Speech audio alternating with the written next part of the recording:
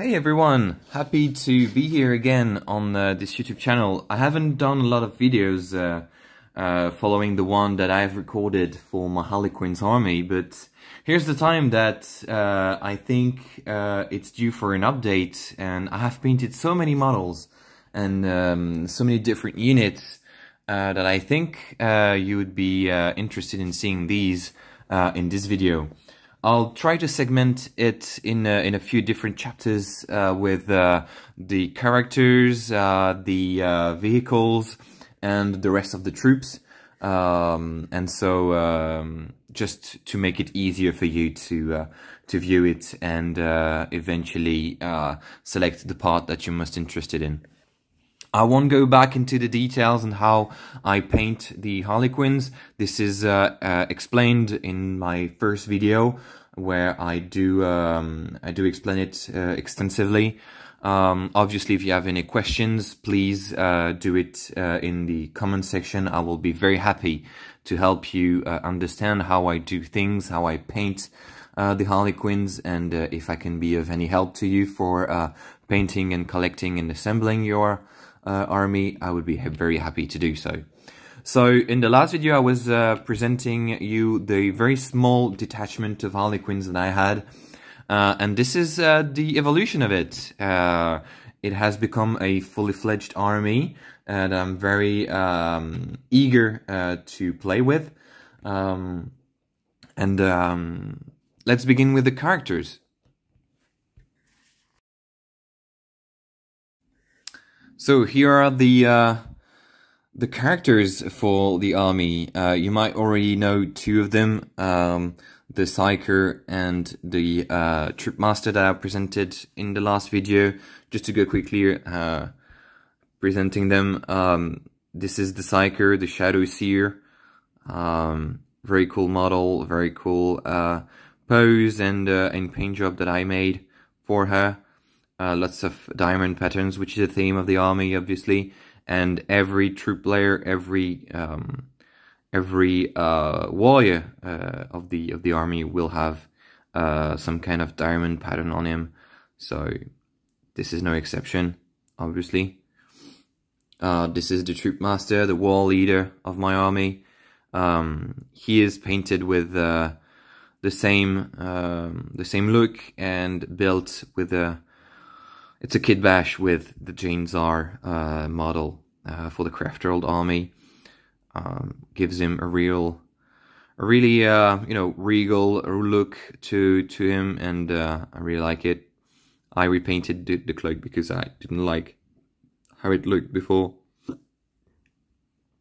But yep, here he is. Um, really like him. Really, really like him. One of my favorite model for the army um, and I'm really glad that I achieved um, such a, a, brilliant paint job uh, for him. So yep, this is the my warlord. Um, I teased the, um, the, the the Death Jester in the last video, uh, so here he is with uh, his very uh, long cannon. Um,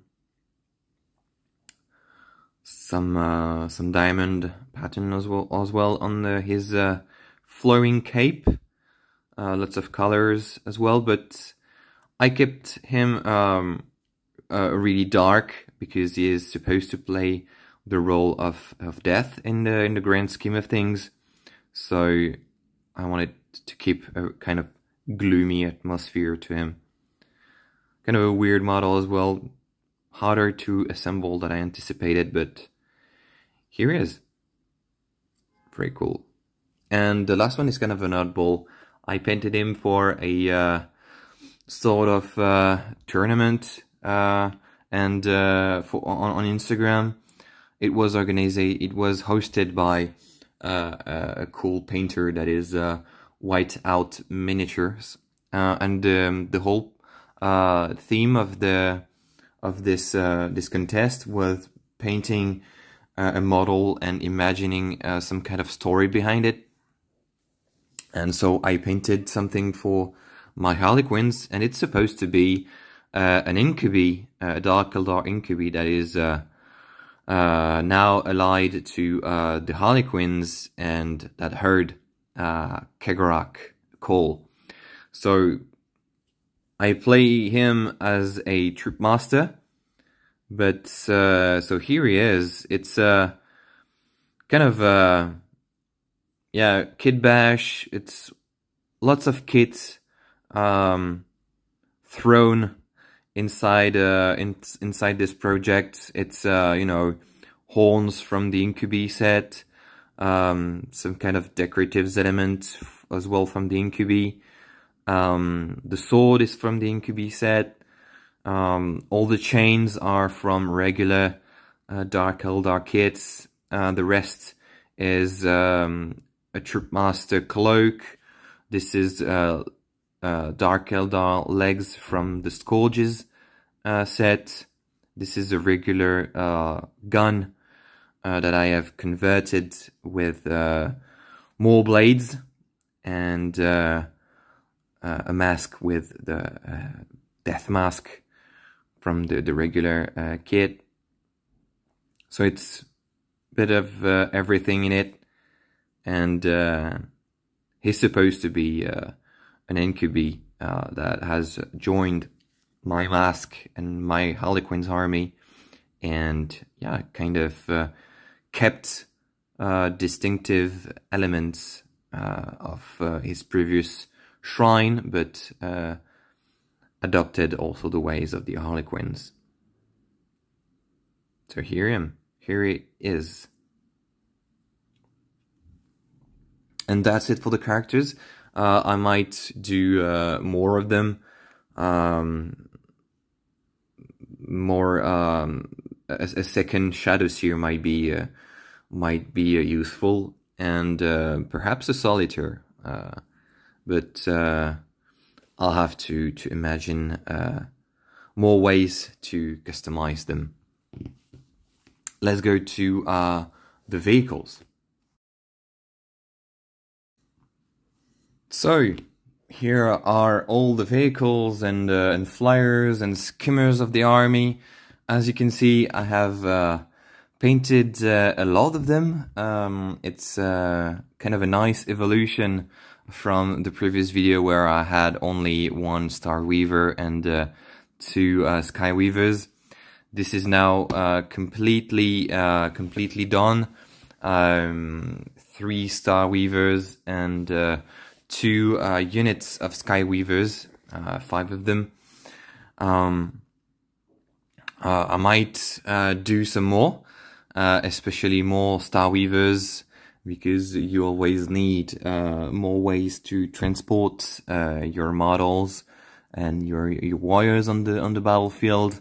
And um, as much as I would like to have a third unit of Skyweavers, these guys uh, take a long time to paint and uh, I'll have to be uh, extra uh, motivated to paint a third unit because quite frankly it was uh, a real uh, yeah it was really hard to to, to paint such such a large number of them but anyway very proud of what I've achieved and very yeah, very proud to to see them uh, all uh, all painted at once. So in terms of transport, so yeah, it's three uh, Starweavers. Um, this is uh, the kind of standard that uh, I have applied to uh, paint all of them um, with uh, a nice uh, diamond pattern on uh, on them on them and on the crew as well. So this is one. This is the second one. What this is the this is the first one I've painted actually. So yeah, and this is the third one. Uh, I mixed a bit the uh, the crew uh, just to uh, to have something uh, different on all of them uh, as well. Uh, the pattern on the wings is different. This is smaller diamonds. This is a larger one, and this one has a red heart on it, uh, and uh, the crew is different as well. Um, they're positioned uh, in a different way. So this is the Starweavers, and for the Skyweavers, as you can see, I have uh, differentiated uh, the two units. This is uh, the first unit with uh, diamonds that are going uh, upwards uh, with just one single blue marking on the wings. And yep, this is how they're painted.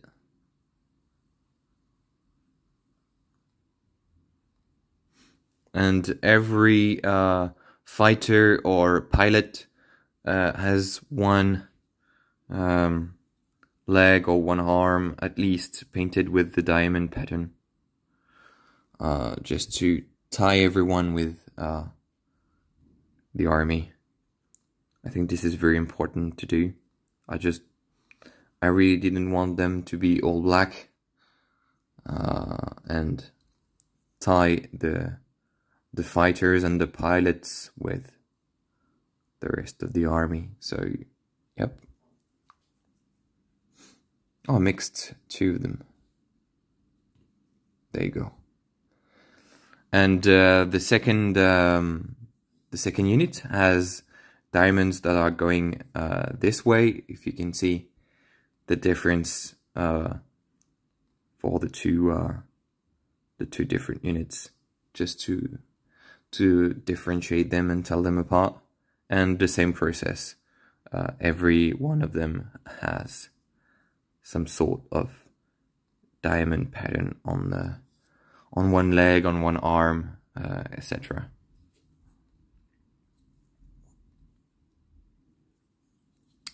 So yeah, it's very cool, uh, very cool looking uh, uh, army, very cool looking uh, flyers uh, once you put them all together. Um, all of them also have um, a magnet, so uh, it's easier to uh, to transport because uh, these uh, bases are very tough to uh, to actually um, use because the, the, the ball point is uh, is not the best invention of uh, GW. So all of them have have been modified with uh, a magnet, so it's easier for me to assemble and transport. This is true as well for the Skyweavers. There you go and I really encourage you to do this uh, for your flyers in your Harlequins army. It's uh, it's it's a hassle to do uh, when you're uh, assembling the kit uh, because you have to buy uh, magnets and assemble and glue them, etc. But in the end, it's way more um, enjoyable to play with them, transport them, when uh, everything is magnetized. So let's go to uh, the infantry, which I have uh, a lot of. Um, but uh, yes, let's go. And so here are uh, all the troops that uh, I own at the moment. Uh, obviously, lots of uh, lots of them, lots of different weapons, lots of different uh, pistols, lots of different uh, um, ways and and and poses um, to paint them. Um, I try to um, to paint and assemble them um, individually without looking at what I already have, what I already um, uh, what I have already done, and so you know all of them is quite different uh, in his own uh, in his own uh, terms. Um, I um, I also have lots of uh, fusion pistols uh, because um, that's kind of a strategy that I've been looking uh, that I've been looking for. Um, and uh, and so I have lots of them with uh, fusion pistols, and uh, currently I'm trying to uh, paint more of them with shuriken pistols, just to have some kind of variation in the in the equipment and ways to play them. So um, you might recognize some of them that I already uh, presented uh, in the first video. This is the first one that I've painted as well. Um, it's uh, it's kind of uh, funny to look at him um, now that uh, I have painted so much of them because he's uh, I mean I like him, but um, he is quite different from the one that I paint that I paint uh, right now. Uh, for example, this is the first one that I've painted. Um, if the camera will focus, there you go. Uh, and with the same pose, this is kind of one of the last one that I have painted. And as you can see, um, it's kind of it's just him but better. um, the diamonds are a bit better, more. Um, but yeah, I like every one of them. Um, so yeah, all of them are here. Um, some of them are uh, with swords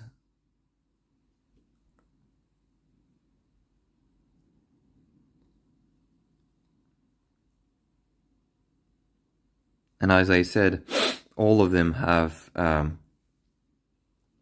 a diamond pattern uh, on them. This one has his chest, his leg, and his arm. A grip with the sword. This one with uh, the embrace, uh, a modified fusion pistol, and more diamond pattern. Um, this one has a shuriken pistol.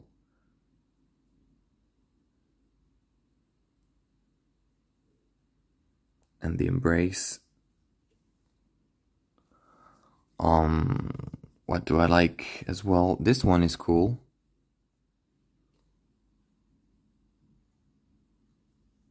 With the big head crest.